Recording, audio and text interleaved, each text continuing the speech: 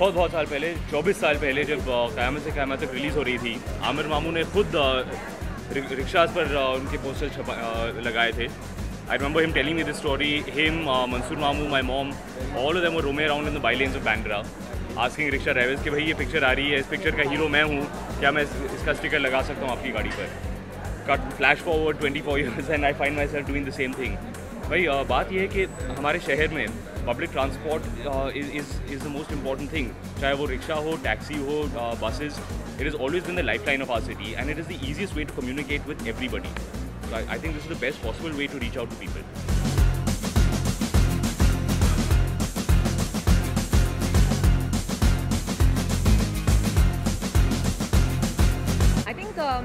क्योंकि हमारी फ़िल्म अभी रिलीज़ पर है